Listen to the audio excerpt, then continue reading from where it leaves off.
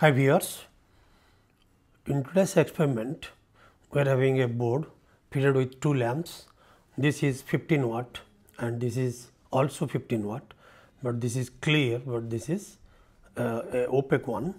Uh, not opaque exactly, translucent, so that you know something will pass out, so that you can use it as a bed lamp. Let us see how do they glow when we apply full to 20 volt alternating current supply. See this is the, the result, this is glowing full as it should be and this is also glowing it's full as it should be. But you know we have experienced the Deepavali lights in series and we know how dim they glow. Now here also we have got a provision using this particular switch we can make it we can make it off and we can make it also in series.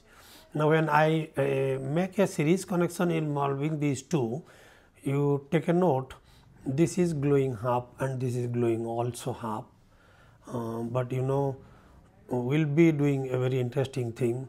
We will be replacing this particular lamp by another 25 watt lamp here present in series with this lamp and you see the result is very enchanting. I fix it and uh, you know I told you already this is 15 watt clear, this is 25 watt clear lamp and let us uh, see their full glow condition.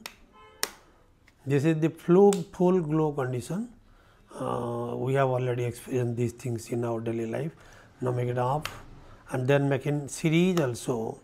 And now when we do a series connection, you see this lamp is glowing almost full, but this is not glowing at all. So, this is very interesting. Why this is not glowing? Uh, it is a it is a big concern for all of, all of us, you know, especially those who are interested in electrical science. And now I will show you the consequence of another lamp, uh, which is called a 100 watt lamp in a series also. You will be you will be happy to note that this is not at all responding. So, who is not responding? This 100 watt is at all not responding that means it is not any emitting any light even this 25 watt does not emit any light only this one is glowing. Now, I will confirm whether they are actually in series or not. If you take it out you will find the, the path will be off that means this circuit will be open. So, this is like that. Thank you.